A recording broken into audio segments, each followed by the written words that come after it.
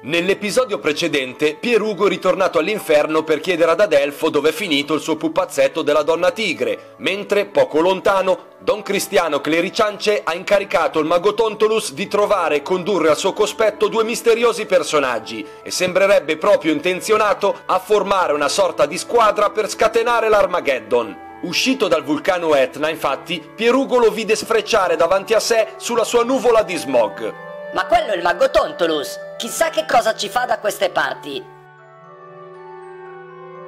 Allora, Pierugo, Adelfo Guidobaldi ti ha detto dove si trova la donna tigre? No, quel coglionazzo era ubriaco fradicio marcio e non se lo ricorda. Però mi ha dato una lista di persone che ne sono possibili possessori. Cosa? Ci risiamo! Questo mi sembra il classico allungamento di brodo. A proposito di brodo allungato, è pronta la cena! E per cena abbiamo solo del brodo, allungato per di più. Non so cosa dirvi, purtroppo le provviste, così come i soldi, stanno finendo. Qui siamo in sette e con Tamarrus adesso siamo in otto. Sono tante le bocche da sfamare. Già, e poi ci sei tu che come minimo mangi per tre.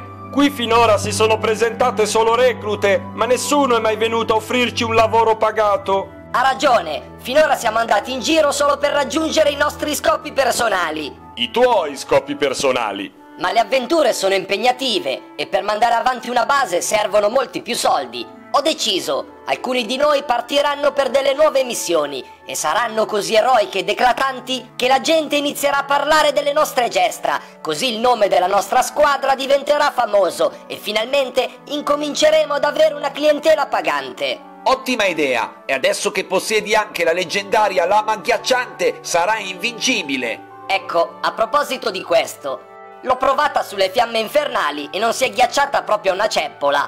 Mi sa che sta spada è una mezza fregatura.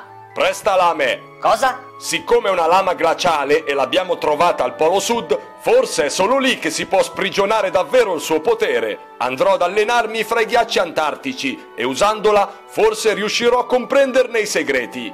Come vuoi, Ubaldo? Tanto io preferisco... La mitica spada Excalibur! Allora è deciso, Ubaldo si allenerà al Polo Sud con... La leggendaria lama ghiacciante! Anselmo, come sappiamo, si sta allenando presso il mago Sberlef e così rimaniamo io, Domenico, Lodovico e Orazio. E io? Ah già, tu, il nuovo arrivato. Hai già in mente qualche missione? Adesso che ci penso sì, una missione che unirà l'utile al dilettevole. Ecco che sta per arrivare una delle sue genialate. Qual è il mostro più pericoloso che conosciamo? È senz'altro Rosarium. Quello mi aveva perfino catturato e voleva scorreggiarmi sulla cappella. Instant Pierugo Trivia. In quale episodio della prima stagione Lodovico è finito nelle grinfie tentacolari di Rosarium e come si è salvato? Se lo sapete, scrivete la risposta nei commenti. I 10 più veloci che avranno dato la risposta esatta verranno salutati nel prossimo episodio. Esattamente! E per avere una fama epica dobbiamo sconfiggere dei mostri epici. Ma il mostro Rosarium non viveva oltre la pianura dei venti sfinterici, dall'altra parte del mondo? Praticamente è in Nuova Zelanda!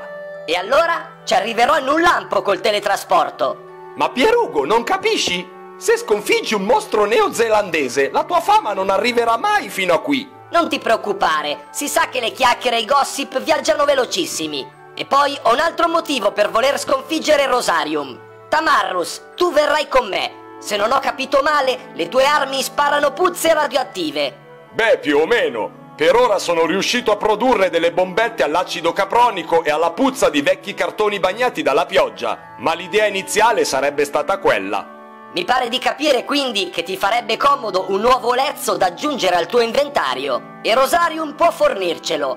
E come? Rosarium è un mostro mutante dotato di 6 tentacoli, anzi 5, uno gliel'ho già tagliato io in passato. E questo significa che ha ben 6 ascelle. Pensa che arma potente se riuscissimo a raccogliere e sintetizzare il fetore di ascella di Rosarium per creare un nuovo tipo di munizione per le tue pistole tarocche e tamarre. Già, è un'ottima idea, ma non potrete mai riuscirci senza un laboratorio adeguato, la giusta strumentazione e soprattutto uno scienziato esperto. E costui da dove sbuca? Ecco, adesso siamo addirittura in nove. Ce ne mancava giusto un altro. Per di più, col laboratorio attrezzato. Finiremo rovinati e senza un soldo. E di cosa ti preoccupi tu? Ti ricordo che fino a qualche mese fa eri un selvaggio che viveva nella foresta. Non li hai mai avuti dei soldi tu.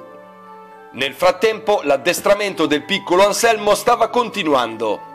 Allora, Anselmo, per poter apprendere la prossima magia necessiti di un maggior potere magico. Avresti bisogno di un piccolo aiutino. Sono ancora piccolo per prendere droghe. Ma quale droga, tonto? Quello è il nome di mio padre. Sei un beota! Casomai sono Beoti, è il mio cognome. Basta, intendevo dire che hai bisogno di un oggetto magico. Quale oggetto? Mmm, fammici pensare. Trovato! Il medaglione della saccenza potrebbe fare al caso tuo. E dove si trova? Dovrai recarti a ovest, alla collina dei coglioni. Lì vive un pericoloso mostro mutante chiamato Matteo Renzis, che spara raggi laser dagli occhi e cazzate dalla bocca. La tua prossima missione sarà sconfiggerlo e impossessarti del medaglione. Ce la farà il piccolo Anselmo a completare la missione? Lo scopriremo soltanto nella prossima spettacolare puntata.